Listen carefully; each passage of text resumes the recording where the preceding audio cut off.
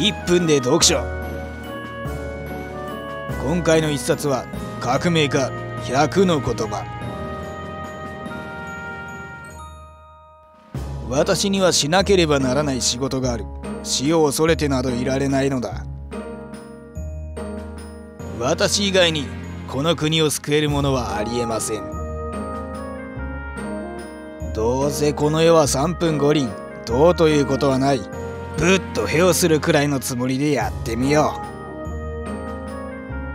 う。俺たちは何か行動しなければならない。俺が考えているのは次の行動だ。我々の問題は人間が生んだもの。だから人間はそれを解決することができる。残りの人生このまま砂糖水を売るだけで終わるのかそれとも世界を変えるチャンスをものにするか？俺たちはお祭りばかりやってきた。お前ら真面目にやってくれ。我が兵には限りがあるも官軍に限りなし。